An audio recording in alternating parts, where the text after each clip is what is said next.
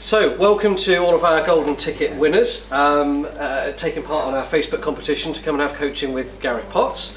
Uh, so, Gareth's going to spend a couple of hours with you all, uh, taking you through um, uh, coaching system. Uh, we've actually got some cues to give you as well. So, I know some of you already got your own cues, but we're going to give you a cue as well. So, maybe you'll have a spare if you already have your own. But uh, here's one each for you to take away. It's actually a, a Peradon cue, so made in England, made in Liverpool, um, worth ninety pounds. So um, enjoy, and hopefully it'll bring you some some luck. And I'll pass you over to Gareth, and I, I hope you enjoyed this afternoon. All right, thanks very much. Okay. Right.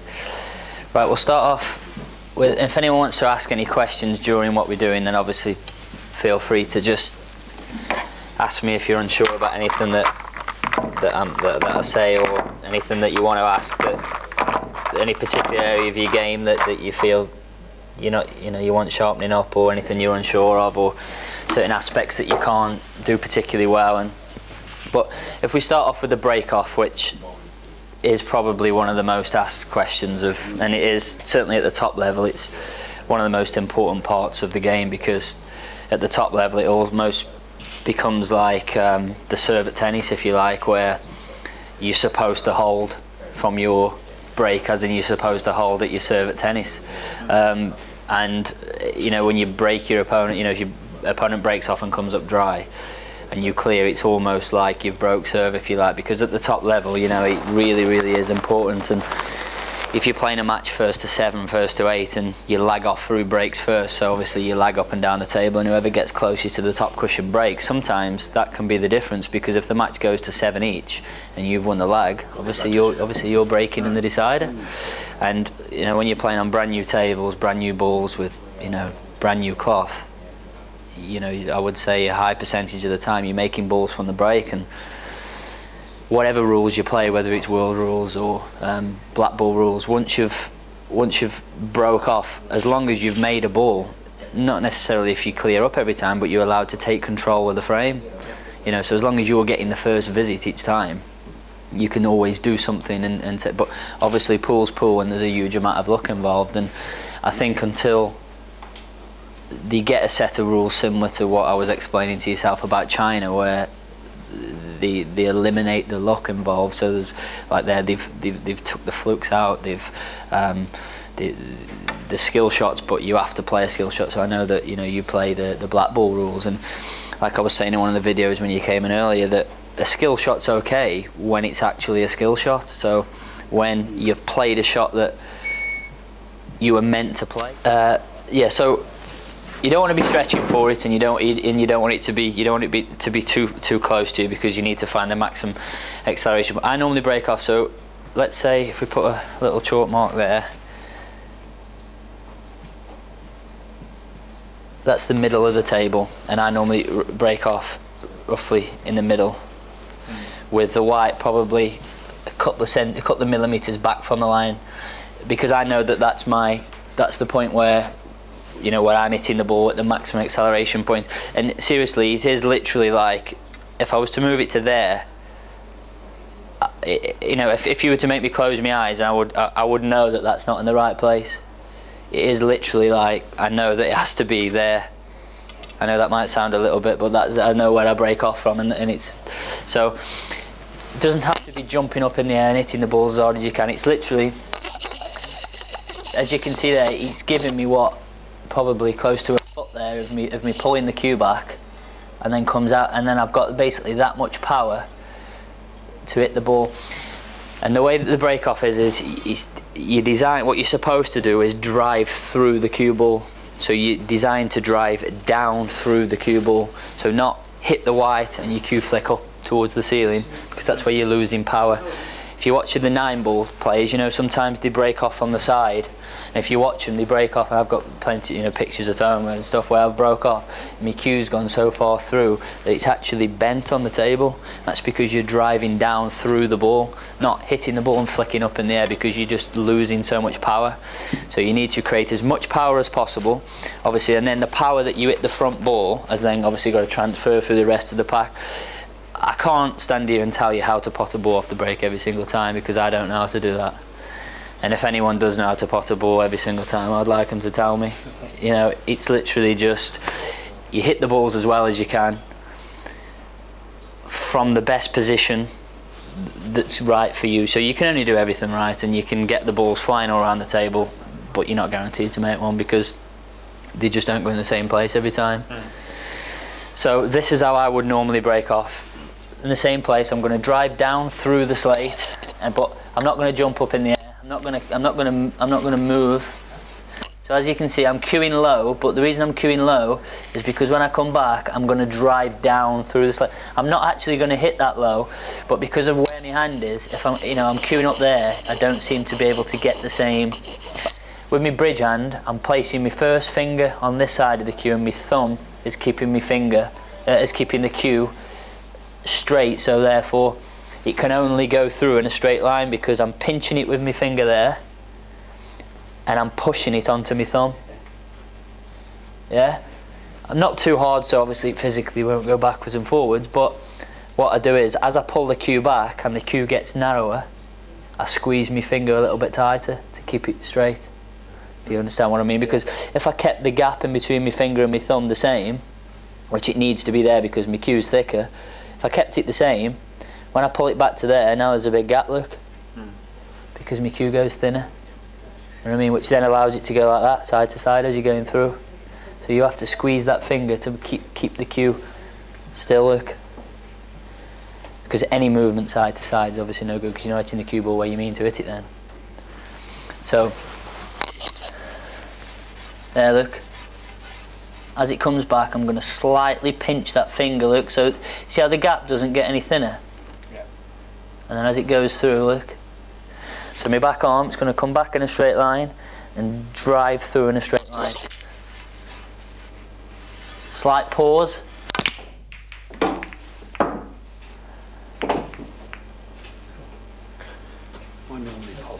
Yeah. so we all uh, we all have a go at that one by one. Do, do you all do you all have a certain place where you would break off from, or or, or you've got two? before that come down to your pot. Yeah. But I've got a break where virtually the top red. Not not every time we're going into the middle pocket. Yeah. Okay. I've got one since where it's going that side. Yeah. I break this side. Break just to the right. Back a little bit. Yeah. Well, what we were doing when um, when when I was in uh, when I was playing in China we were doing um, we developed a break and it's strange because it only worked on the main TV table and on the out we had, we had a main TV table in the middle and then on the outside tables there was there was seven outside tables and the break didn't quite work the same on the outside tables as it did on the TV table. That's why I say every table will break differently. And at the end of the day the the balls are not always going to be exactly in the same place. They're always not going to be touching exactly the same place. So you'll never, you'll never. But I understand that you can get balls moving to a certain direction of pockets. For example, when I was in China, what we were doing was doing what we call the pot break. So I was breaking with the white about two inches to the left of the of the middle, say say about there. Hitting the balls literally at this sort of pace. It was no harder than this. And what was doing with it called the pot break is obviously it was it was with the American balls. And you literally just popping the white back over the blue spot and just sort of parking the white anywhere around here and the two wing balls, which which they call uh, the wing balls, as in not, not not these balls, but the two second the second two balls down here, were going towards the middle, one each. If you hit it too hard, the balls would go. If you hit the break too hard, the balls would go high. If you hit the break too soft, the balls would go low at the right at the right pace, one would go in each pocket. What was happening a couple of times is one would go low and one would go high. And the reason for that is because the pack was slightly offset, not to the middle. Mm. So you can get balls moving in a certain direction, obviously it's not always it's not always guaranteed. And the problem with that is a lot of the time to get that to happen, it's when you hit the break softer. It's not like as hard as I just hit the break there is obviously not as hard as I can hit it but if I was to hit the break with everything it's almost like just oh, just see if I can pop one when you're saying you know you have a break where you normally get maybe eh, what do you normally get the second or third ball down going towards going towards the middle Or you get the top red, or what, do you cut across the first ball then, do you? And basically it's just right of the centre line, just back on from the ball line. And I just hit it dead, dead centre. Yeah, let, let's, right, let's, um, right, let's have, let's have, so, sorry, what was your name again? Chris. Let's, ha- let's have a look at, let's have a look at your break first then, Chris, of how you're saying. So, so you, so basically you're trying to get, Yeah. you're trying to get the first red into the middle. Now you also have to remember at the pool you've got to make four balls at the cushion. So it's okay trying to make this ball into the middle, but if you're hitting the pack too soft and you don't make the ball, then you've got to make sure four balls are hitting the cushion. I've had, I've had a few foul breaks in my Yeah. yeah, this, yeah. Yeah, that, that's the problem you will have because if you pot the ball, then that's okay. Do you find in tournaments that where you break, I break pretty similar from sort of same position as you and slightly back. Um, I've got, I used to break from the centre with a lot of top and drive the white through, but I found the collisions would often cannon the white somewhere that I didn't want. Well, the reason why I wouldn't advise the playing with it with so much topspin is because the topspin takes the pace out of the cue ball. So basically, what's happening is uh, uh, is obviously the, you're playing with topspin, so the, the, the, cue ball hits the ball, but then it's basically obviously got loads and loads of rotation, and it's taking the power out of the cue ball. Where obviously a, a, a stun it's exactly the same if you screw the ball, because if you screw the ball too much, it's just hitting the ball and pinging back off as fast as it can. So it's not delivering the maximum amount of power into the balls. With the stun shot, it's hitting with its maximum force. And the reason why it's coming back is because the cue ball is lighter than the object balls. That explains one of the problems I've had recently. You know what I mean? Yeah, Because the cue ball is lighter, that, that, that cue ball is lighter than, than the object ball. When it hits the when it hits the ball, it's naturally going to jump back. Even when you play with topspin. So if I was potting this ball into there with hard topspin as hard as I can, what actually happens in slow motion is it hits it. Although it's spinning forward, it actually comes back before it starts going forward because the hmm. cue ball is, is, is smaller than, than, than, than the object ball. If I was to play it on that table with those American balls, as soon as it hits it, it naturally starts going forward. But because it's smaller, it jumps back slightly first. So that's exactly the same with the break. If you have too much topspin, it's just releasing power.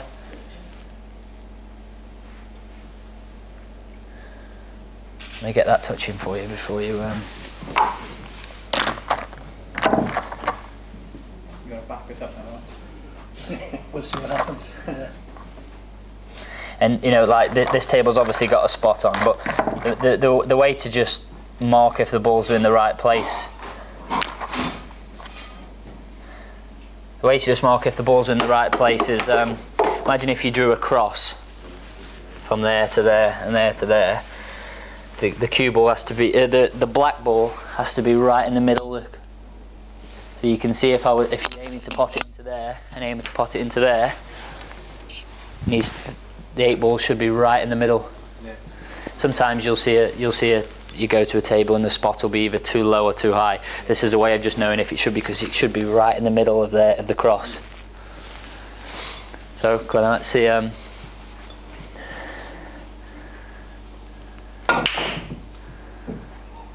see that way that time you hit across it this way, Yeah. but the red came this way. Yeah. So you just see that that went the complete opposite way to the thought because he thought he was going to make the ball into there, but he actually came this way and hit it high. But also the problem with that break is what what uh, Chris is doing there is Chris. Yeah, what Chris is doing there is um, even if he'd have made that ball. So if I put them balls back, where you know, even if he'd have made this ball, see how they still.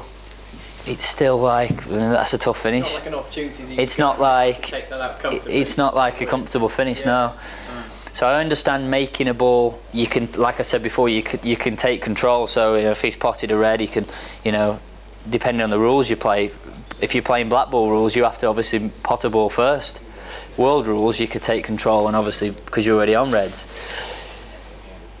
I understand making a ball is important but also what is important is getting the balls open. I mean, if you notice when I break off, I think more than half the balls came past the middle. You know, so you're getting a you're getting a huge split, which is obviously easier to take in the finishes out. I mean,